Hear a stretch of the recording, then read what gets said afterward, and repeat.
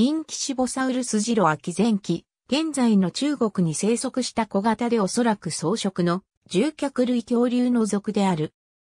最初に記載された標本 iBOP V13326 は頭骨で遼寧省西部北表市近郊の四号トンにある義剣層の最下部で収集されたものである。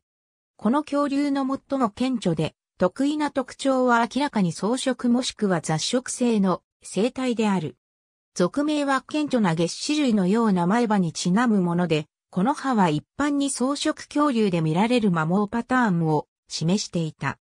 種商名ゴーティは分岐分類法の先駆者であるジャック・ゴーティエに懸命されたものである。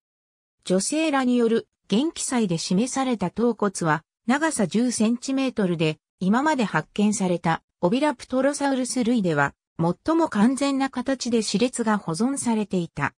分岐学的解析の結果、オビラプトロサウルス類の系統の規定に配置され、カウディプテリクスやオビラプトル科よりも原始的であることが示された。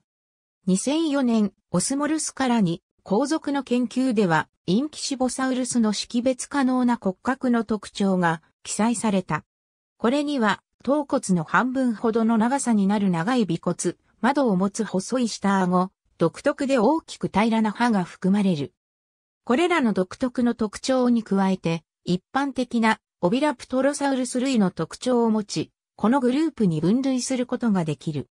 多数の歯含むいくつかの特徴はこの属がこのグループの中では原始的であることを示し、また、頭部のいくつかの特徴はテリジノサウルス類など他の植物食の可能性のある獣脚類との関連性を支持している。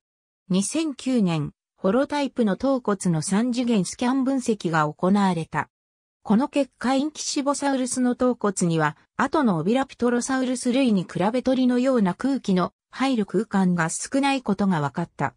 また、他のオビラプトロサウルス類と同じように、球波が縮小し、死波が拡大していることも分かった。このことは、オビラプトロサウルス類の鳥に似た特徴が修練によるものであることを示す。インキシボサウルスは他のマニラプトル類の獣脚類と同様に羽毛を持っていたと仮定される。体長は1メートル以下と推定される。インキシボサウルスはプロターケオプテリクスと同種である可能性があるが、両者を直接比較するためにさらなる化石資料が必要である。ありがとうございます。